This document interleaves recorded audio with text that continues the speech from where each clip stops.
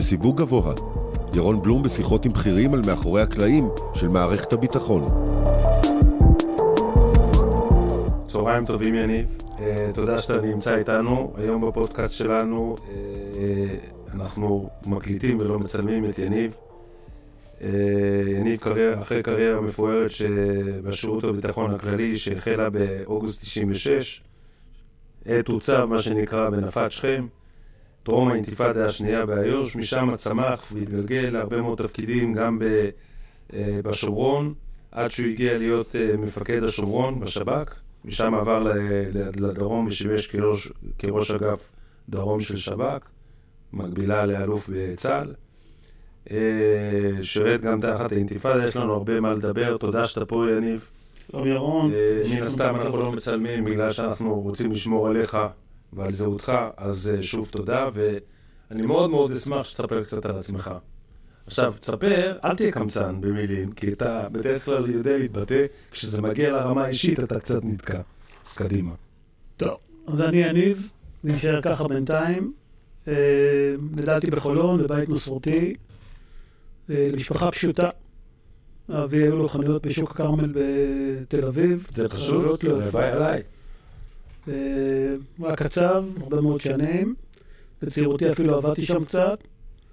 אה, אמי הייתה עקרת בית, שניהם ממוצא לובי. אבי, אה, כמה שזה נשמע מוזר, הוא ניצול שואה. הוא אה, נולד בלוב בבנגזי. יהודי בנגזי, במסגרת הכיבוש האיטלקי, שהיה קשור לגרמני, לקחו אותם לג'אדו, לג'אדו, למחנה ג'אדו במדבר בלוב, ואחר כך הוא הגיע בסוף לברגן בלזן, ושם שחררו אותם. בגלל שהיו להם דרכונים בריטים בבסיס, כי המשפחה במוצא היא, אה, היא משפחה שהיא אה, עברה מספרד לגיברלטר, ומשם אחר כך ללוב, אז זה ממש רחוק רחוק, ועולה לארץ אה, עם קום המדינה, והשתקע ביפו.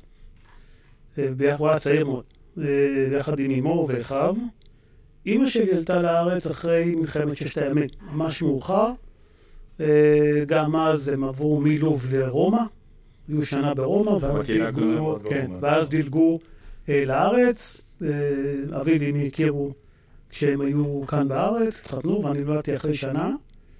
אז גדלתי בחולון, הייתי בפנימייה הצבאית אור עציון בצעירותי, למדתי במחזור הראשון בעלי, ואחר כך הגעתי, כן, מחזור ראשון, התגייסתי לגולני, הייתי מיכאל ועד מ"פ בגולני, הייתי מ"פ בבית ספר לקצינים. אה, ולאחר מכן אה, הצטרפתי לשירות, זה היה אחרי רצח רבין. הייתי כבר חתום בתוכנית שירות. אה, השב"כ פנה אליי, אמר לי בוא נצטרף ליחידה לאבטחת 90. נראה לי גם לגיל שלי וגם את מה שכבר עשיתי שזה פחות מתאים לי. התחלתי בחינות לבדיקת אגו, התקבלתי, ומצא את מי בהכשרה, בהכשרת הרכזים. תשעה חודשים של אולפן לערבית בירושלים. לאחר מכן אה, קורס רכזים, והוצבתי בשכם. ואם שואלים אותי באמת באמת בשב"כ מה עשיתי, אז בסוף הייתי רכז בשכם, למרות כל התפקידים הבכירים והחשובים של עצמם, אבל בסוף אני תופס את עצמי כרכז, זה המקצוע הבסיסי שלי. אה, רכז לו בשכם בתקופה אולי הכי מורכבת שהייתה, תקופת האינתיפאדה השנייה, עם אה, גם הרבה מאוד פעילות וגם הרבה מאוד אנשים. זהו, אני נשוי, יש לי שלושה ילדים כבר גדולים. גאה בהם מאוד. לא יאומן, כי אני זוכר אותך עוד עם עגלה, כן. שנקרא. אז, כן. אז אה, באמת אנחנו אחרי הרבה מאוד שנים שעבדנו גם אה, די משיק וצמוד וחברות עמוקה. אז אני דווקא כן רוצה להתחיל איתך ממה שקורה עכשיו, ואז נחזור אחורה, יהיה מאוד מעניין, כי יש לך באמת סיפורים מרתקים, לפחות את חלקם אני מכיר, אז זה, זה יכול להיות אה, מאוד מאוד מעניין. זה לא יכול, זה יהיה מאוד מאוד מעניין. אז בואו נתחיל אבל עם טרור הבינונים, ש... היה בשבוע שעבר, וכל הפעילות של כוח הריסון של חמאס. תסביר, תעשה לנו סדר, כל, כל שנתיים סבב חדש, איזה סיבוב כזה או אחר, ש... שאתה מנסה להבין למה הוא בכלל קורה, לא תמיד אנשים בכלל מבינים מאיפה זה מגיע, בעיקר עכשיו שנכנסים 18,500 פועלים. אני חושב שהסיפור הגדול ברצועת עזה מתחיל בנסיגה או ההתנתקות או היציאה של צה"ל או של ישראל מרצועת עזה, מתוך החלטה מושכלת, ש-9,000 אה, יהודים שגרים ביישובים כוח שאתה צריך לשמר למולם, והפיגועים הרבים שהיו שם, ויכולת השליטה בשטח היא מוגבלת, בוודאי שאנחנו כבר מאזור 94, אחרי הסכם אוסלו, לא באמת שלטנו במרכזי הערים ברצועת עזה, לא בעיר עזה עצמה, לא ברפיח, לא במקומות אחרים, למרות שהיו פשיטות צבאיות כאלה ואחרות. היציאה מרצועת עזה, אה, אני מזכיר לכולם, הייתה יציאה שבה בתחילתה, בשנה הראשונה שלה, מי ששולט זה הרשות הפלסטינית. ובעצם אה, מתקיימות בחירות. הבחירות האלה הן מאוד מעניינות, כי הציבור הפלסטיני אה, הוא בסך הכל ציבור אה, מסכן, שבוי בתוך סיטואציה מורכבת, לא משנה מי השלטון ששולט עליו, והוא מוצא את עצמו בסיטואציה שבה הוא אה, לא רוצה את השלטון ה... של הפת"ח נגיד, או השלטון הרשות הפלסטינית, כי הוא נתפס אצלו כמושחת. ואז הוא בוחר בשלטון החמאס, בבחירות, אה, אה, הייתי אומר, אה, יוצרות את הסיטואציה מחדש. בשלב הזה החמאס מחליט שהוא עושה הפיכה שלמה שם, זורק את כל מי שאפשר מהגגות, מגרש את הרשות בבושת פנים וזנב בין הרגליים מהרצועה, ובעצם משתלט על הרצועה ב-2016 באופן מלא. אז מ-2016 ואנחנו ב-2023, למעשה אנחנו נמצאים ב-17 שנות שלטון של חמאס. ואני רוצה רגע לצאת בזום אאוט מה, מהדבר הזה לתמונה הכוללת באזור, ואז לחזור לטרור הבילונים, שכאילו הוא מאוד טקטי. כן. אז באזור האסטרטגי, אם אנחנו מסתכלים על זה, הרי אחרי מלחמת העולם השנייה בעצם נוצרו פה כל המדינות באזור. נוצרו מדינות אמיתיות.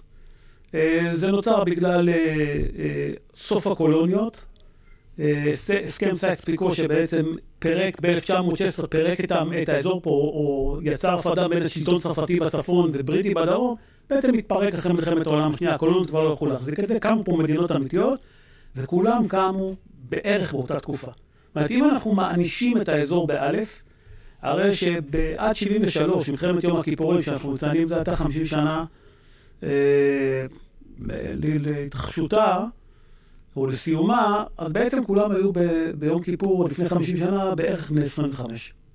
ואנחנו, כשאנחנו בני 25, אנחנו בשיא כוחנו, אנחנו בטוחים שאנחנו יכולים לעשות הכל. בטח אחרי מלחמת ששת הימים הרגשנו מאוד מאוד חזקים וגיבורים. אבל מאז עברו 50 שנה, וישראל היום בת 75, כמו כל המדינות שנמצאות פה באזור. עכשיו, אם אנחנו לוקחים את כל המדינות, אתה רואה את מצרים, מבין את זה אחרי מלחמת יום כיפורים, חתרה להסכם שלום, ב-79 נחתם ההסכם. אתה רואה את הירדנים שתמיד הבינו שהם תלויים פה באזור הזה, לקח להם זמן, היו בקשרים טובים, אבל חתמו ב-94 גם הם על הסכם שלום. אה, עם הפלסטינים היה ניסיון, ותכף אני אחזור אליו. הסורים, אני מזכיר שהיו ניסיונות שלא צלחו, הסעודים עכשיו ברקע. אבל יש, אה, דה פקטו יש אה, הסכם איתם. נכון. עם שביתת נשק, שיותר שקט מכל דבר אחר. והלבנונים זה כבר מדינה שהיא נמצאת במלחמת אזרחים שנים ארוכות ורבות, ובאמת אין יציבות שם, למרות שישראל ניסתה ב-82 לייצר איזשהו שלטון נוצרי שמתאים לנו.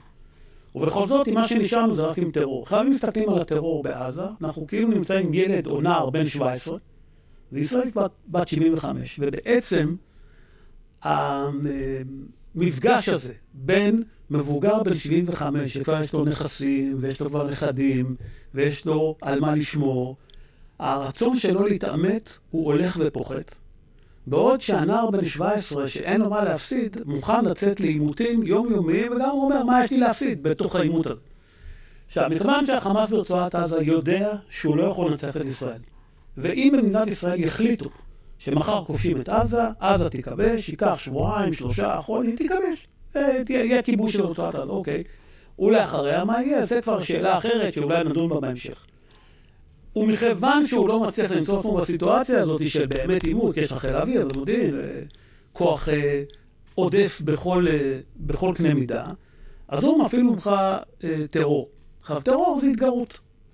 מה סף הכאב שמדינת ישראל מוכנה לשאת בדבר הזה שקוראים לטרור? האם עכשיו שהוא יורה טיל, או יורים מספר טילים שפוגעים בשדות של אחד מיישובי העוטף, האם הדבר הזה הוא כואב או לא כואב?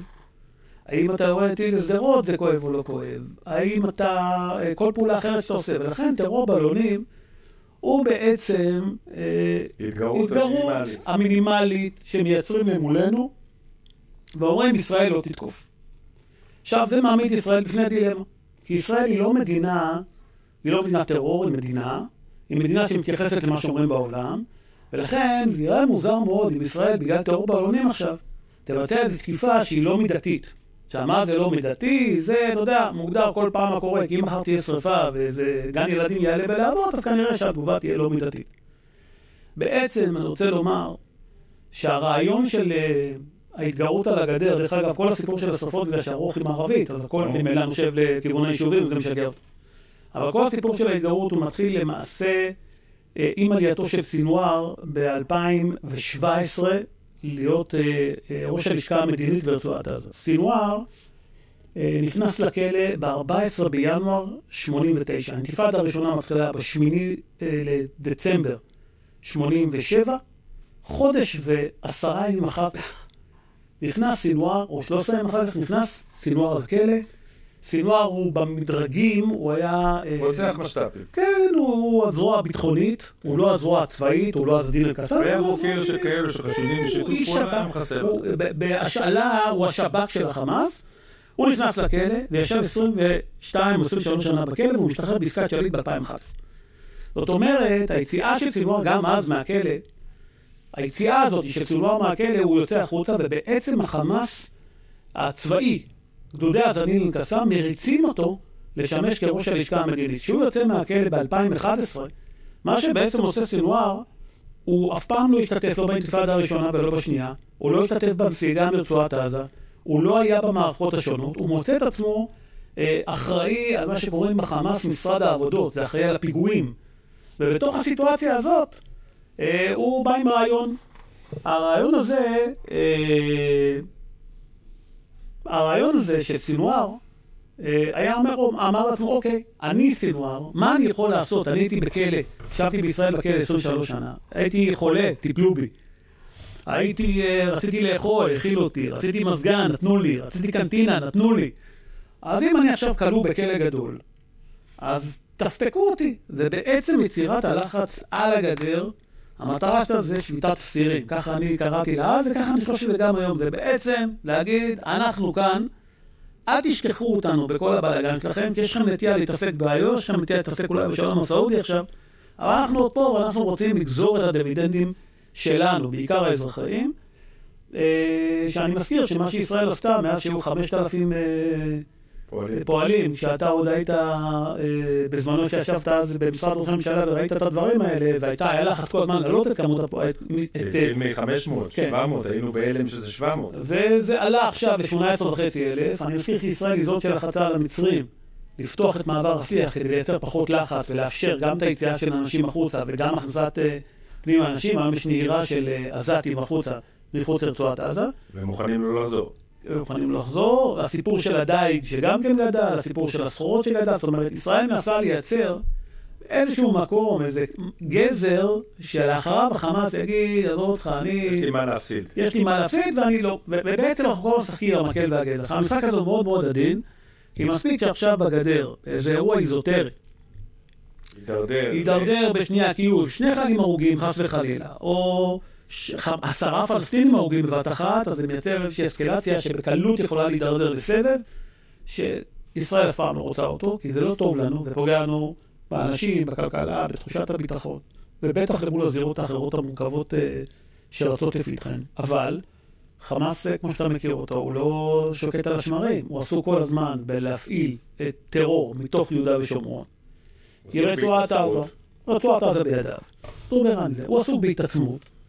והוא עסוק ב, בעצם במאבק פנימי מול הרשות הפלסטינית, זה מה ההגמוניה, מי ישלוט בסופו של דבר בעם הפלסטיני ובנרטיב שלו.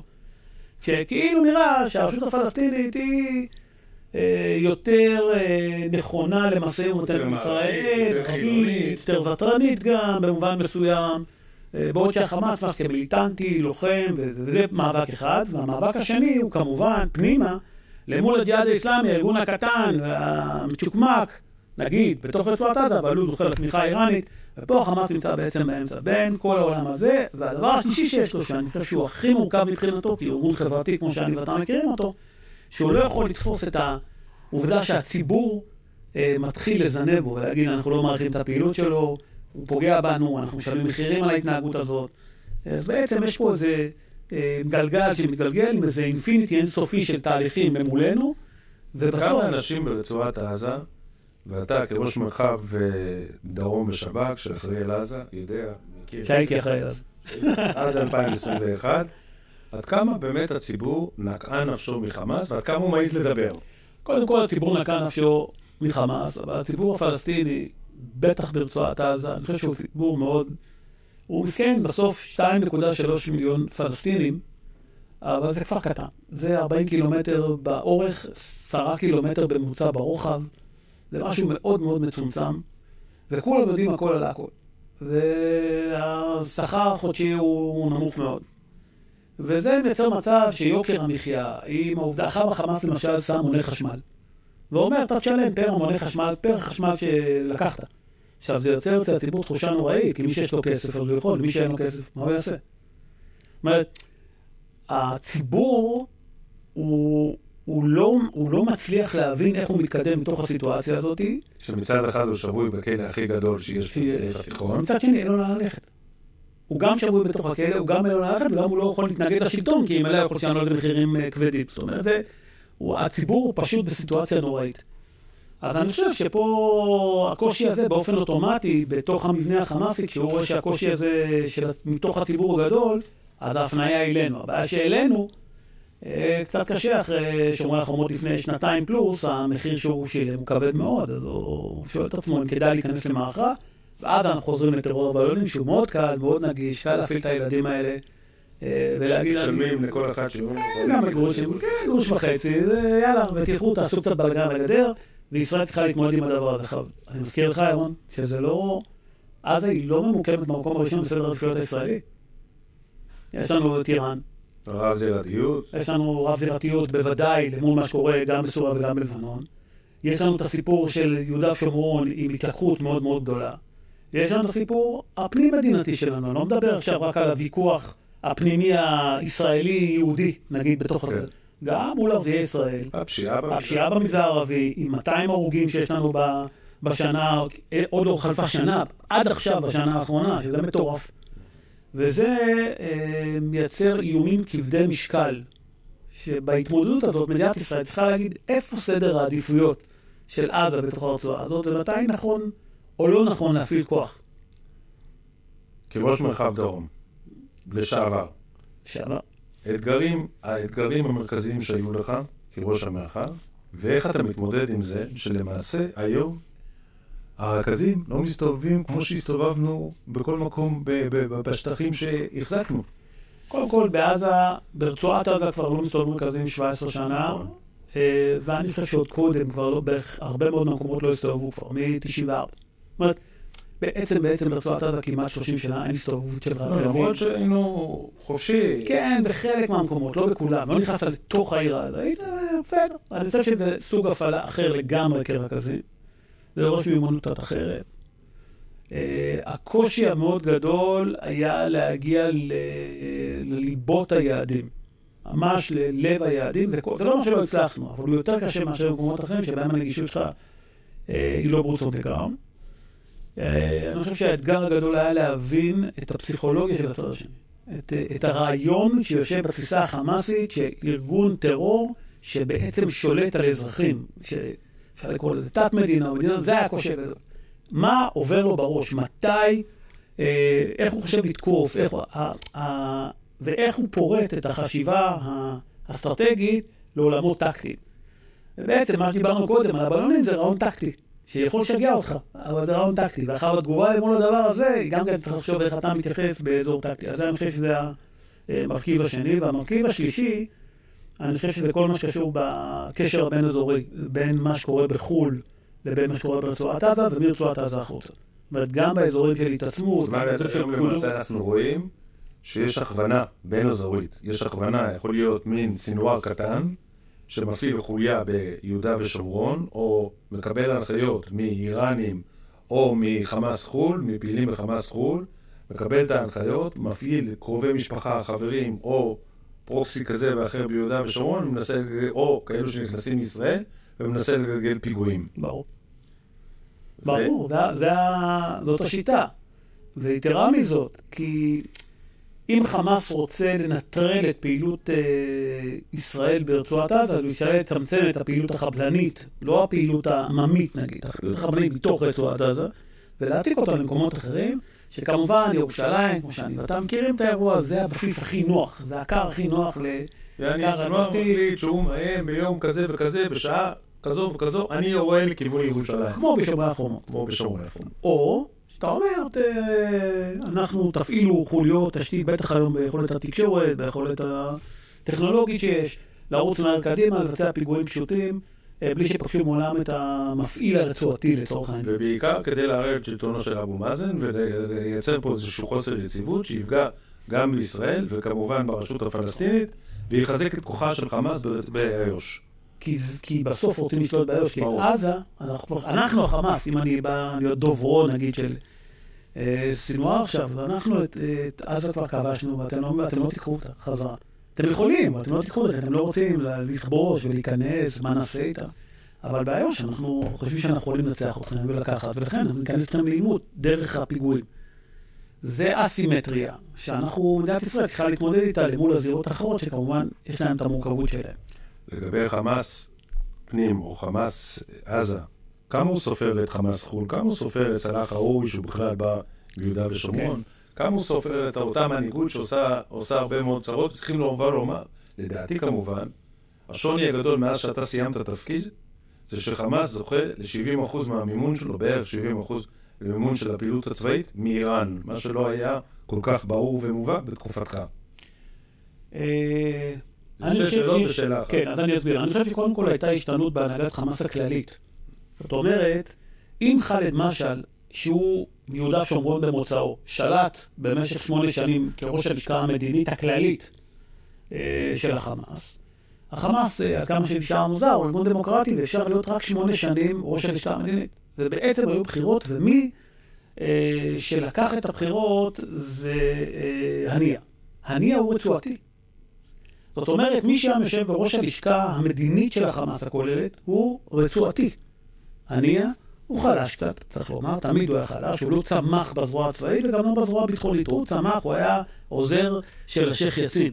ובעצם הוא, הוא צמח באזור הדאווה, באזור החברתי.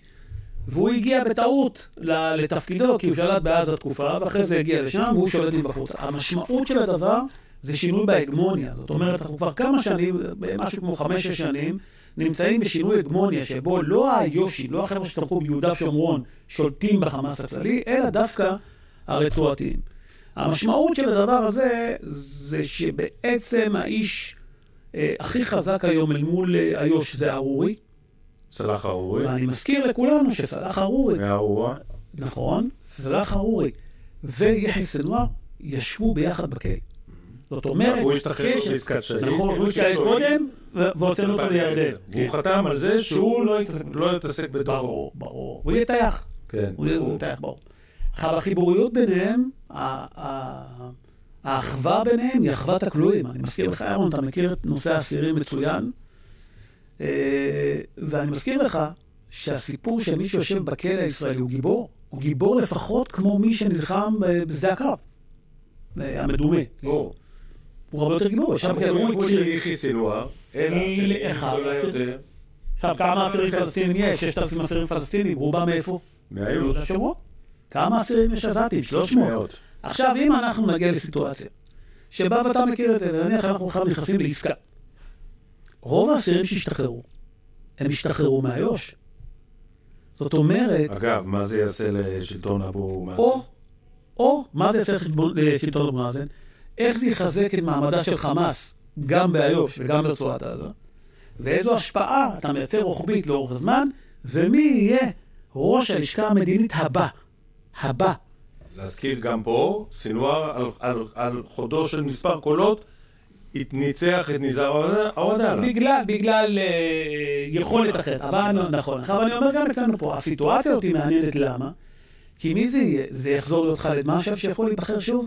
זה הולך להיות אה, אה, סלאח ארורי. או שזה הולך להיות סינואר. עכשיו, זה יהיה אוטוטו ולפתחנו, ובעצם כל אחד ירצה לגזור משהו לקראת הבחירות האלה. עכשיו, סינואר, בעצם כל האימפקט שהוא רוצה לייצר, הוא לא רק מול הרצועה פנימה, מזה הוא חושש מהאנשים שם, אלא גם הוא יעשה מול איו"ש, ואם הוא יצליח להגיע או להרבה מאוד פיגועים, שמונחים או על ידי חמאס הרצועה או על ידי אה, סאלח ארורי, אבל בעיקר שחרור האסירים יכול מאוד מאוד להשפיע על מה שיקרה ביהודה ושומרון בהיבט של חמאס. זאת אומרת, אנחנו ניגע בזה ברגע, כי אני מאלו שמאמין שצריכים לדבר כמה שפחות על נושא השבויים והנעדרים, כי יש עשייה, מי כמוך יודע, רבה מאוד. עשייה מרובה ורבה וחשובה גם בהיבט האופרטיבי וגם בהיבט הערכי. וגם בהיבט הסמי-דיפלומטי שאתה עסקת.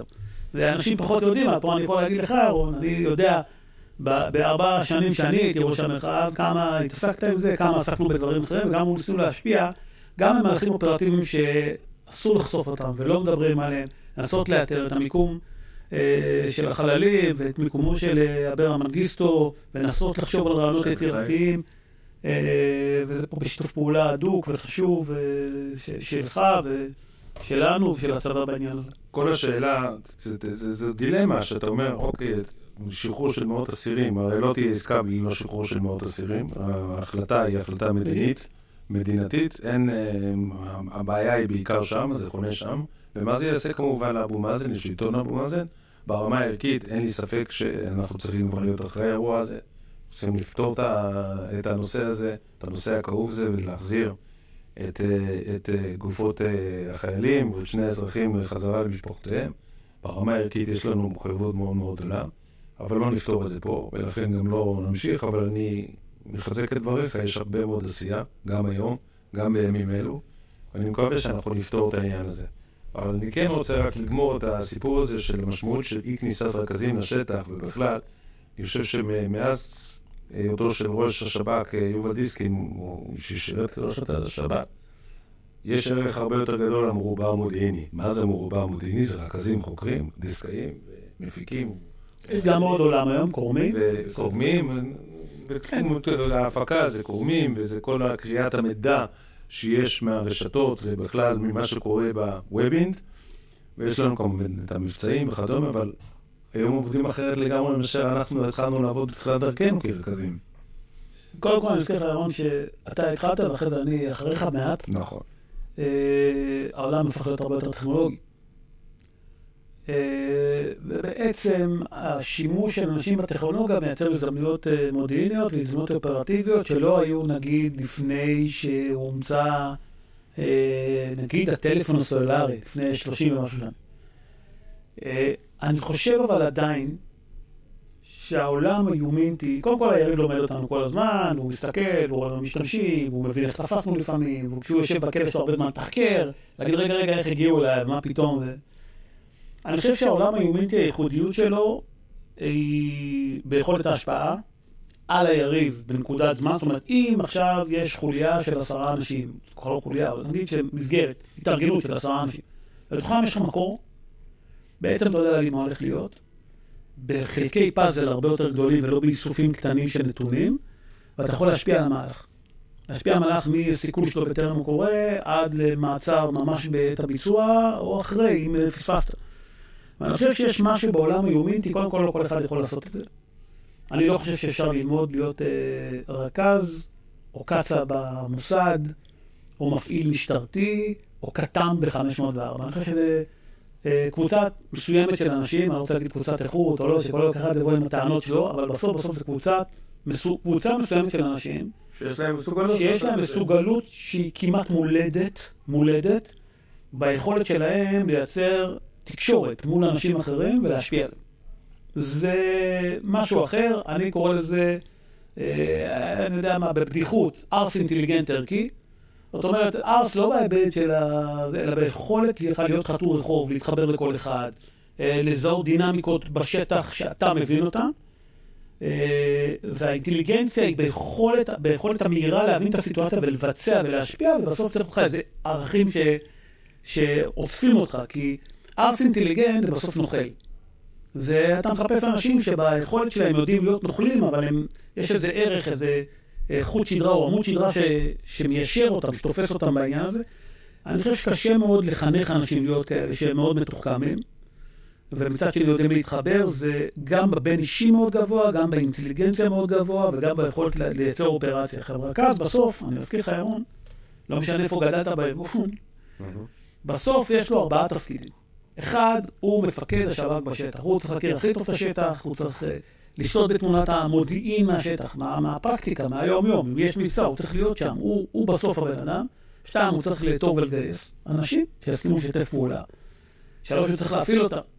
וארבע, הוא צריך לייצר מבצעים. זאת אומרת, זה ארבעה תפקידים, כל אחד מהם אחר לגמרי. הגייס, הוא רוצה לגייס ולרוץ לספר לחבר'ה.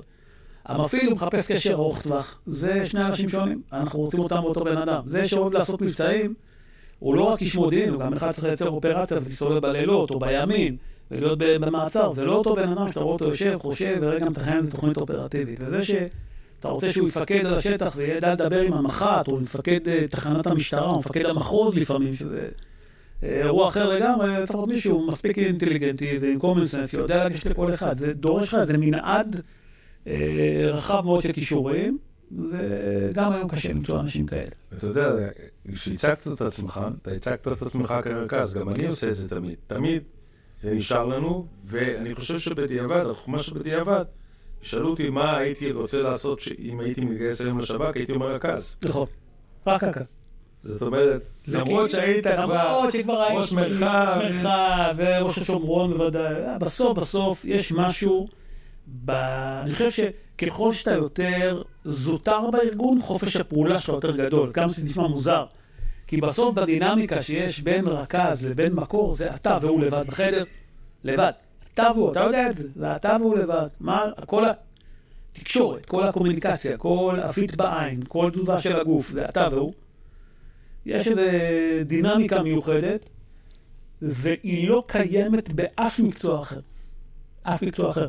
זאת אומרת, גם כשאתה מסתכל החוצה לאזרחות ואתה מחפש את המקצוע, זה... אין מקצוע שאתה מחפש איזה קשר ארוך טווח. זאת אומרת, נגיד היה לך מקצועות הכי פשוטים, זה פשוט, אבל נגיד להיות איש מכירות, לא משנה של מה. בסוף בסוף זה לא קשר ארוך טווח. אתה מוכר, אוקיי, זה הכל דינמי, כולם מבינים שזה עסקי. פה האירוע הוא אחר לגמרי, ובוודאי גם למול דברים אחרים, אפילו פסיכולוג, שהוא מחפש קשר ארוך טווח, בסוף הוא עוד מטופל ועוד מטופל ועוד מטופל, הוא מחפש פתרון. אין ספק שפה אם אתה רוצה באמת להצליח בתפקיד שלך, ואחרי שגייסת, עתרת וגייסת, ועשית מבצע, אתה רוצה שהמבצע יצליח, זה משהו שהוא, הפסגה היא. היא באמת אלוהית, וההשפעה שלך על תהליכים היא גדולה מאוד. אבל אני רוצה, לפני שאני עובר לאיו"ש, לאיו"ש, לסגור איתך רגע את עזה, מה התקופה הכי מכוננת שהייתה לך בעזה? אה, אני מזכיר שאנחנו ב-30 במרץ 18 אה, התחלנו עם האירועים על הגדר, שהתפתחו ל-84 שבועות של ימי שישי על הגדר, עם אה, סבבים, היו, אני יודע מה, 12-13 סבבים קטנים באמצע. יש לנו נטייה לשכוח, אבל זה... אני חושב שהאירוע המרכזי השומר החומות, הוא היה ממש בסוף התקופה שלי. אני, המרחב נערך, בארבע שנים שהייתי, הוא נערך לנקודת הזמן הזאת. בסוף, חלק מהייעוד של המרחב זה הכנה למלחמה ושותפות עם צה"ל במלחמה. עכשיו, אני מאלה שטוענים שבמלחמה אנחנו צריכים לפעול על פי צורכי הצבא לגמרי, כי בסוף מי שנלחם זה הצבא, אנחנו יכולים לעזור. אני חושב שהמוכנות של המרחב למערכה הזאת, לשומרי החומות, בצד העזתי שלה. ובהתראה שאנחנו נתנו לייצר בזמן לדבר הזה. ובהכנת כל היעדים. היעדים. עד רמת הטלפון למי מתקשרים כדי לעשות הקש בגג. ופריסת כל האנשים של המרחב בהרבה מאוד נקודות של הצבא. צמוד לשטח פעם אחת, ובצבא בנקוד, בנקודות שבהן אני חושב שההשפעה הייתה מאוד מאוד גדולה. ואני חושב שהתוצאות היו טובות, וזה בהחלט... היה סיפוק מאוד גדול לראות את התהליך הארוך הזה, ואני חושב שאני תקופת קורונה באמצע, וכאילו יש הרבה מאוד דברים שכאילו אובייקטיבית היו צריכים להשקיע, אבל אפשרו, אה, היו צריכים להשפיע, אבל הם אה, דווקא יצאו אצלנו דבר הפוך. ואני חושב שבתחושה שלי הייתה תחרה מאוד גדולה, וקיבלנו פידבקים אותו, אני חושב שזו הייתה גולת הכותרת. שאלה נוספת לגבי הדרום, כי אתה למעשה פיקדת על הבדואים, גם על, הייתה לך אחריות גיאוגרפית על, על כן. המרחב הבדואי הגדול ביותר במדינה, הנגב. מה עושים עם הדבר הזה? אני, התחושה שלי שאיבדנו את הנגב. כן, בכל המדינה היו 17,000 בדואים בנגב, בן גוריון חשב לגייר אותם. היה לו רעיון יצירתי, זה לא עבד. אה, היום יש 300 אלף בדואים, הם מכפילים את עצמם כל 20 שנה. לחלקם יש זיקה לעזה. תכף אני אסביר את הרציונל של הדבר הזה, ואני חושב שמה שהשתנה אצל הבדואים זה, משהו חברתי שאנחנו לא, לא מצליחים להבין אותו, זה הגירה, זה כמו שקורה להגירה של יהודי צפון אפריקה שהגיעו לפה אה, לארץ. בעצם הסמכות ההורית נעלמה, אין מנהיגות שבטית או מנהיגים שבטיים שאתה יכול לדבר איתם. הצעירים הבינו שאפשר לעשות כסף קל מדברים פשוטים, לא צריך ללמוד עברית. יש הרבה מאוד סממנים, ועם השנים, הרי בבדואים יש שלוש רמות, יש את הבדואים האסלים. כסף קל לא חוקי. כן, כן, ברור. יש שלוש רמות שלו, יש את הבדואים האסלים, יש את הפלאחים שבאו אחר כך, הצטרפו וכאלה, ויש בסוף את העבד, השחורים, תסלחו לי הביטוי, אבל שהגיעו כעבדים מאפריקה והצטרפו. בעצם, אה, השבטים הגדולים התחתנו בינם לבין עצמם ויצרו, יש להם איזה נכסים שלהם, אבל הנחותים בתוך החברה, אני אומר הנחותים במרכאות, אבל ככה בנויה החברה, מצאו את עצמם אחרי מלחמת ששת הימים שהם יכולים להתחתן עם אה, היושיות או העזתיות, ובעצם, אחרי מלחמת ששת הימים, בחמישים השנים האחרונות, או יותר, חמישים ושש השנים האחרונות, נוצרה סיטואציה של אה, נישואים בין זירתיים, הייתי אומר. גם בדואים שהתחתנו בעיקר עם חברוניות או דרום הר חברון, וגם עם אה, אה, עזתיות וגם עם בנות מסיני. ונוצר מצב שהערבוב הזה בין הרשויות האלה, נוצר מצב שהיום בערך 30% מהבדואים תופסים את עצמם לא כישראלים, אלא כפלסטינים. זאת אומרת, אדם מתערבב, ממילא יש קרובים ברצועת עזו ביהודה ושומרון, ממילא אנחנו נלך ללמוד שם כי עלות הלימודים זולה יותר. אה, ממילא מתעמרים בנו, אנחנו לא מקבלים מה שאנחנו רוצים. הנה, הורסים בתים גם למי ששירת בצבא. אה, אז אתה מקבל פה איזו מערכת שהיא לא מאוזנת לגמרי. במיוחד לאור העובדה שנגיד מתוך 2,000, בטח 2,200 היום, אה, אנשים שיכולים להתגייס לצבא, בני נוער שאמורים להתגייס לצבא, מתגייסים 130. זאת אומרת, המרחק הוא עצום. ויש פתרון? ואתה רואה פתרון? אני חושב שהפתרון נמצא בשלושה דברים. פעם אחת בחינוך, אני חושב שהסיפור הגדול הוא חינוך והשפה העברית היא דרמה בעניין הזה. אני חושב שלא מלמדים מספיק עברית, לא ברמה הנאותה, לא, ב... לא ביכולת באמת להשתלב בהמשך, גם הוא לא צריך, הוא מגיע לכל חנות והוא מוצא שם מוכר אה, בדואי או בדואית. אז אני חושב שהשפה היא דרמה. שתיים, אני חושב שצריך להגיע לאיזשהו הסדר בנושא הקרקעות והבינוי, זה לא כזה פשוט. ניסו כבר בכמה ועדות, עסק לא פשוט, אף אחד לא מסכים לעבור לגור בתא שטח של... בדואי גם לא מוכן לעבור לתא שטח. של שבט אחר. אה, בוא נתחם את השטח שלו, ברור, יש פה סוגיה, אנחנו רוצים שיגורו בקומות, אנחנו רוצים את זה בעוד מקומות, באום אל-פחם הכרנו את זה, אתה יודע, אתה מכיר את הסיפור, בוא נעבור מהבתי קרקע לבתים במבנים.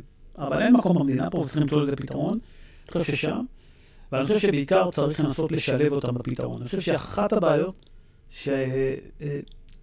אם אני יכול להצביע עליהם השנים שלא מצאנו לנכון לשלב אותם בפתרון. כאילו מדינת ישראל מנסה לכפות פתרון באיזשהו סוג של שיח, אבל לא אומרת בואו נחשוב ביחד מה עושים. כי, כי הבעיה הזאת היא רק תלך ותגדל. זאת אומרת, בעוד אה, 20 שנה יהיו פה 500 אלף בדואים בדרום. ובעוד 50 שנה יהיו פה מיליון בדואים בדרום. זאת אומרת, זה לא שזה איך אתה יכול לעצור את הגלגל, גם אם אתה מאוד רוצה, וגם אם ב-2004 החליטו שלא משלמים את קצבת הילדים באותו אופן. אני חושב שערביי ישראל למדו, היום הממוצע הוא שלושה ילדים. כן, כמו אצל יהודים. כמו אצל יהודים. הם רוצים, הם רוצים להשתלב, הם רוצים להיטמע, הם רוצים להיות מערבים. הבדואים עוד לא הגיעו לשם, זה חינוך, לא, גם, לא רק חינוך שאנחנו, מה שאנחנו חושבים שאנחנו מבינים, אלא חינוך גם זה חינוך משפחה, חינוך למשפחה, זה בריאות, זה הרבה מאוד דברים שקורים גם בגלל המבנה השבטי שלהם. יש להם שבטים, אה, כן. חלוקה לתתי שווקים. תראה, בסוף אני חושב ש... 90, 95 אחוז מהציבור הערבי-ישראלי, אולי אפילו יותר, אתה יודע, אני אומר 95 כזה באמת, כאילו כלל שמעיד על ה... רוצים להשתלב. רוצים להשתלב, רוצים לחיות פה טוב. התנאים שמדינת ישראל נותנת לכל התושבים. דרך אגב, זה לא משנה מאיפה באת. הם תנאים מצוינים, ואם אתה ערבי, בוודאי שאתה רואה מה התנאים הסביבתיים בכל מדינה אחרת, לפעמים אתה מבין שמה שיש לך פה, תגיד, אלחמדולillah, ותראה איך אתה כן. מנסה להשתלב בתוך הסיטואציה. כי, אה, תראה, עכשיו אנחנו נמצאים במאבקים הפנימיים פה כל הזמן, והאם אנחנו מדינה יהודית או דמוקרטית, או יהודית ודמוקרטית, או דמוקרטית ויהודית, אז הדינמיקה הזאת, במה המדינה הזאת, אבל בסוף היא מדינה שנולדה אה, ליהודים, ככה היא נולדה המדינה הזאת, היא נולדה כדי למצוא מקום ליהודים. עכשיו, זה שיש פה 20% מהציבור הוא ציבור לא יהודי, זה לא אומר חס וחלילה שצריך לא להתעמר בו, ולא לרדות בו, ולא להתחשב בו, וצריך למצוא פתרונות שמאפשרים לו לחיות את חייו, על פי אמונתו ודתו, תוך שהוא משתלב ומקבל את כל הזכויות שלו. ברור. אני רוצה לעבור איתך לאיו"ש, כי צמחת שם. רוב שנותיך בשירות, היית ביהודה ושומרון, התחלת בשכם, עברת לנפות אחרות. אה, תספר קצת על תקופת האינתיפאדה, כי עבדנו בסך הכל די יחד, היינו מקבילים. אני עבדתי בשטחים שמקבילים לאיו"ש, באזור טייבה ובאזור הזה, והרבה מאוד פיגועים זלגו אלינו. הכל זלג, כמעט הכל זלג, כמעט הכל זלג. רוב הפיגועים הקשים שהיו... מזכיר לך, לא הייתה גדר, לא הייתה גדר, אה, אנחנו שמחנו על הרשת הפלסטינית הרבה מאוד זמן, זאת אומרת, במובן מסוים, השליטה בשטח הייתה שליטה מדומת. זאת אומרת, אתה נמצא בקצוות ומנסה להחזיק את השטח. השטח הוא אה, מייצר הרי מקלט שאתה יכול לעשות מה שאתה רוצה בפנים, ותמיד אפשר לברוח לך ברשת דייגים המחוררת, המחוררת הזאת, לנסות לעשות פיגועים, לא הייתה בעיה. כי לא הייתה באמת, לא הייתה גדר, לא הייתה שליטה בשטח. אה, רשות פלסטינית שבאיזשהו שלב גם הצטרפה לתוך האינתיפאדה. ואני חושב שבאמת הכל נשפך לתוך אה, אה, אזורים שאתה שלטת בהם, שאתה היית אחראי עליהם, אני חושב שזה אה, היה... זה אירוע מכונן בתפיסה שלנו כאנשי שירות, כי אתה פתאום מבין שהיכולת שלך לעצור חמישה-שישה פיגועים שיוצאים במקביל מאיו"ש זה בלתי אפשרי. ובסוף הלחץ הגדול היה באמת חומת מגן והכיבוש פנימה, וגם אז עד, עד שעצרנו, לקחנו איזה שנתיים, באמת, באמת, אה, אה, הייתי אומר לעצור את הפיגועים, וגם אז היו פיקים. נגיד, אני הייתי רכז נפת טול היה לנו את הפיק של אה, עסקת טננבאום, שפתאום ראינו סדרת פיגועים של הג'יהאד האיסלאמי, עם פיגועים קשים מאוד, עם פיגועי התאבדות, עם פיגועים בתוך יישובים. אני חושב שהקושי הגדול היה בשלושה מישורים. אחד, באמת באמת המדינה הייתה בעין הסערה, והיו לנו איזה 1,300 הרוגים מהסכם אוסלו ועד 2004, לדעתי. משהו כזה. זה מטורף. אזכיר לך את מרץ השחור ב-2002, 131 הרוגים, אלון פארק היה הקש ששבר את גב הגמל בכניסה, או בהחלטה של אריק שרון כראש ממשלה לכבוש את יהודה ושומרון מחדש. שתיים, אני חושב שהסיפור הגדול זה איך מחזיקים את האנשים. אתה מסתכל על האנשים שלך, וחלק מהאנשים היה להם מאוד מאוד קשה להתמודד עם המראות, עם הקושי המנטלי, עם האינטנסיביות, עם הכניסה לשטח, עם... יש כאילו...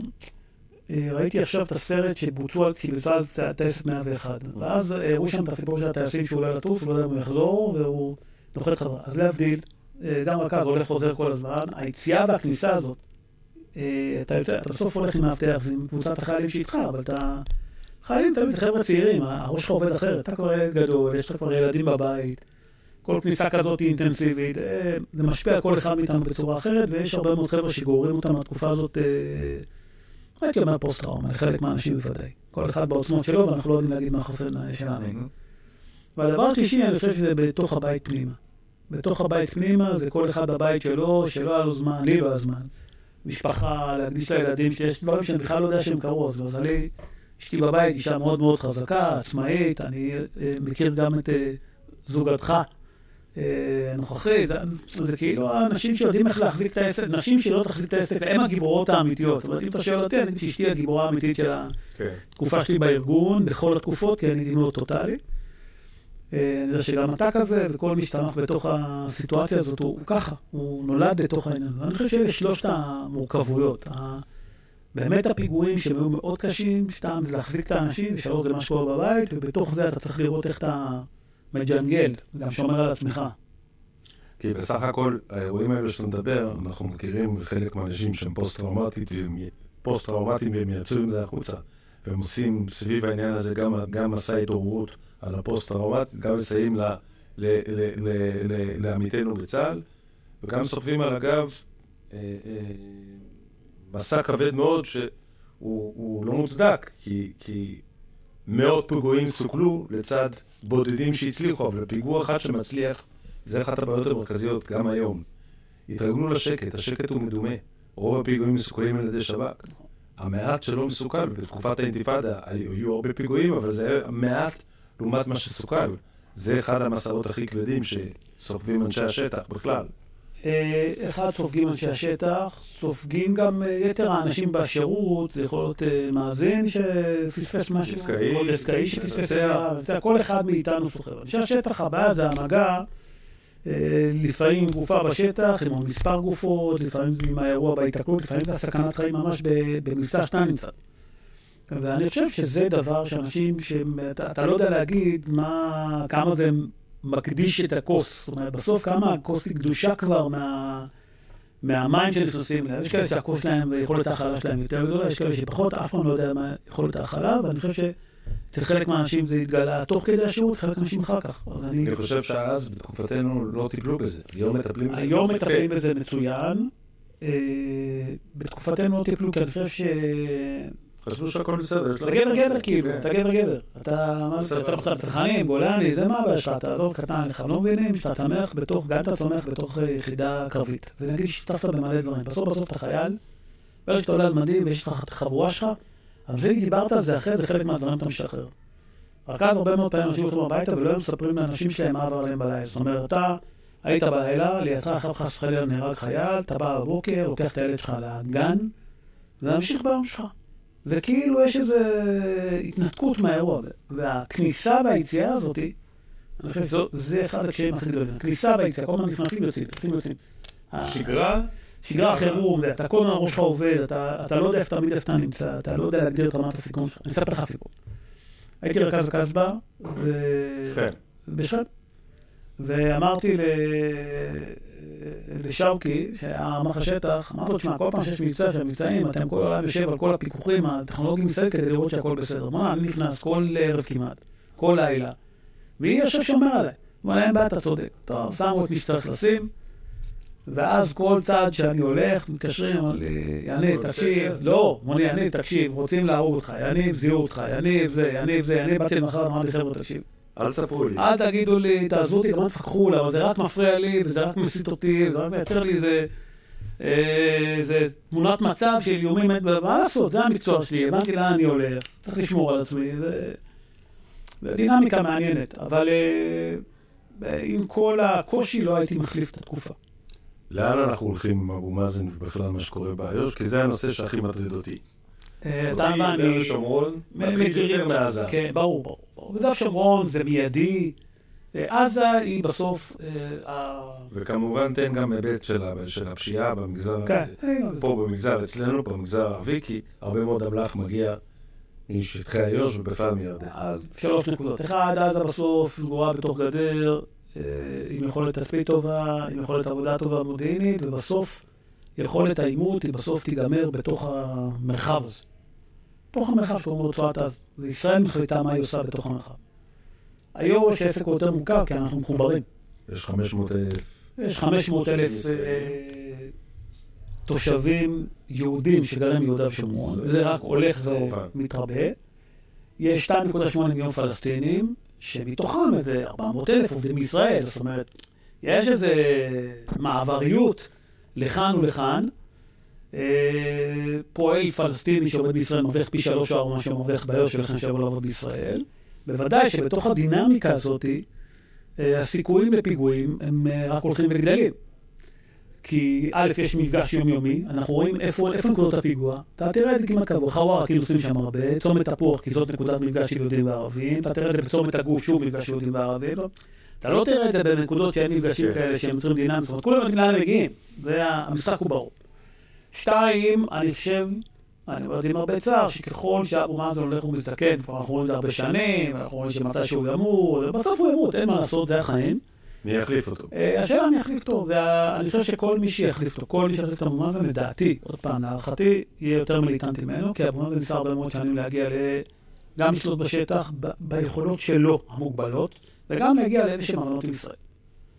ומששישראל אה, נוח לנהל את הסכסוך בצורה הזאת, אז לא הגענו אותו לשום דבר. זאת אומרת, בעצם בעצם מה שיש איתו זה הסכמות ביטחוניות ואזרחיות. אין פה משהו שהוא הסכם כולל, שנותן להם איזשהו... נותן לך כן, יש פה היבט ביטחוני, אוקיי, בוא נראה מה אתה מסוגל לעשות, כי אחרת אה, אתה פוגע גם בעצמך. ויש היבט אזרחי, בוא אנחנו נדאג לך לכל מה שקשור בצד האזרחי, כולל עבודה בישראל כמובן, כולל כל הדיבידנדים האחרים שרצים באמצעות המינהל האזרחי. אבל כשהוא ילך, כל מי שלא יבוא יהיה יותר מיליטנטי, ויגיד, אוקיי, ניסינו את הדרך, זה לא עבד. אז בואו אה, נגיע לעימות. אה, אני חושב שקודם כל יהיה מאבק פנימי, אבל בסוף הוא ייפטר. אה, אני, יש לי נטייה לחשוב מי זה יכול להיות. מי זה יכול להיות? אבל אני מעדיף שלא להגיד כדי לא לתת לאף אחד את החומר הזה, אבל אני חושב שיש בסוף זה אנשים מוכרים בתוך המערכת. אני מאלו שאומר שזה יכול להיות ג'יבריל ארג'וב כזה וסן א-שייח. אני חושב שהסבירות היותר גבוהה, בעיניי זה האזורים האלה, בגלל העובדה שהוא מכיר אותנו הכי טוב, הוא היה שם, הוא מכיר את האמריקאים, מכירים אותו, יש פה איזה מערכת שצריכה לתמוך את ה... ויש, הוא חזק מאוד בשטח. הסכם עם סעודיה היה והוא יצא לפועל. יצא לפועל, אני מעריך שיצא לפועל, אני מקווה שיצא לפועל, זה יעזור לאבו מאזן, או לשלטון הרשות. זה יעזור לשלטון הרשות, כי הכוחות המתונים, נגיד, בעולם האסלאמי, קודם כל, סעודיה המדינה הכי גדולה באזור. אז זה גם מקומות הקדושים. והיא בעצם אומרת, אני מכירה בישראל שזה אירוע דרמטי. מבחינת ה... כל האזוריות פה זה אירוע דרמטי שה, שהסעודים אומרים, אנחנו מכירים בישראל מוכנים לכונן יחסים איתם. זה יעזור לאבו מאזן, כי בסוף הוא יזכה שוב לעוד כסף. אני מזכיר לכולנו שתמיד העולם הערבי משאיר את הפלסטינים איכשהו לבד.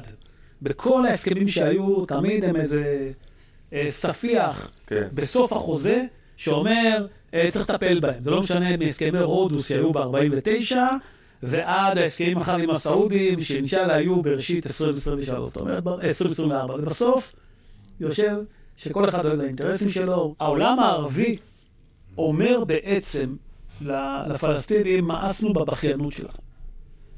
ומהסכם אה, רודוס ב-49 ועד ההסכם המיועד עם הסעודים, בכל ההסכמים הם בסוף נשארים ספיח צד. זה בסוף ההסכם, שאומרים חבר'ה בואו נתחשב, גם ערפאת אמר, אה, סליחה, סאדאת אמר, אה, בואו נמצא פתרון לבעיה הפלסטינית, אוקיי, בסדר. וזה אחרי זה עלה גם בהסכמים הירדנים, אוקיי, בסדר. אף אחד לא רוצה... אף אחד לא רוצה אותם סתם פעם וגם אף אחד לא אומר, צריך כל הזמן לדאוג להם. ובעצם אומרים להם, חבר'ה, תבינו, ישראל פה להישאר, יש לה עוצמה צבאית ועוצמה טכנולוגית ועוצמה מדינית ועוצמה בינלאומית, והם לא יזוזו מפה, ואם הם פה, והם יכולים להשתלב ולסייע באזור, כי הם מחזיקים ים, ויש משמעות למעבריות בין אירופה לבין המזרח, ואנחנו רואים גם מי מתנגד לאיראנים, שזה האסלאם הקיצוני, שבעצם יושב, ויש פה איזו דינמיקה ש, שאומרת לרשות, תיקחו החלטה, באיזה צד אתם. ואם אתם רוצים להיות בצד הנכון, אז כדאי שתקבלו את, ה, את ההסכמים האלה, ואני חושב שהרשות, יש לה איזה... אם דיברנו קודם על הילד בן ה-17, או הנער בן ה-17 בחמאס שמוכן להתחיל מכות ואחרי זה הוא חוזר מהר, הרשות היא עוד מעט בת 30, אה, זה שני ילדים במשכנתה, אה, לא פשוט להיכנס לעימות על כל דבר, ובואו נשמור על מה שיש לי. אנחנו גם ככה קשה, בואו ננסה לשמור על הבית. ומצבם יותר טוב מעזה. ומצבם יותר טוב מעזה, וישראל משמרת את הדבר הזה, שהמצב יהיה תמיד יותר טוב מעזה, אה, כדי שהרשות תבין מה היא יכולה להפסיק. יניב, היה מרתק. גם לי. עברנו 54 דקות ביעף. תודה רבה. תודה רבה. אני מעריך שאנחנו נעשה פרק נוסף. נעשה פרק נוסף. ועד אז, אז באמת תודה. תודה רבה, נהניתי מאוד. סלמתק. סלמתק. בסיווג גבוה, ירון בלום בשיחות עם בכירים על מאחורי הקלעים של מערכת הביטחון.